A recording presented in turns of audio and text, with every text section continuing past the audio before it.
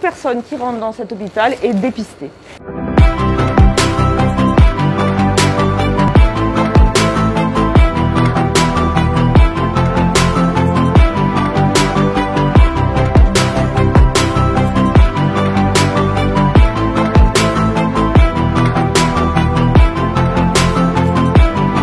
On s'est équipé de cette machine.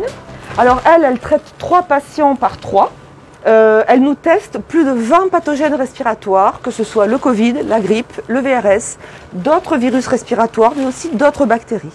Et si jamais euh, on voyait arriver un pic de grippe et autres, on aura les moyens de discriminer les patients pour la grippe, le Covid ou autre chose. Et ça, c'est très important en termes d'épidémiologie et c'est très important en termes de traitement puisqu'on ne va pas prendre en charge les gens de la même façon.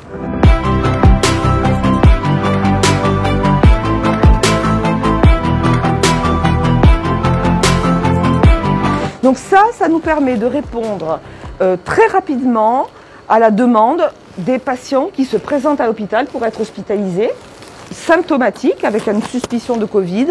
Pour notre part, on n'a pas besoin, par exemple, d'utiliser les antigènes euh, dont tout le monde parle en ce moment, qui peuvent être tout à fait intéressants dans certaines situations, surtout en forte période épidémique. Donc on va pouvoir, lorsqu'on est loin d'un support médical ou d'un laboratoire, eh bien ça peut être quand même intéressant de faire un diagnostic rapide. Il se trouve que là, nous avons répondu à, cette problématique avec ces appareils de PCR. Donc avec ces appareils, on arrive à couvrir notre besoin qui est de 80 euh, demandes par jour de ce type.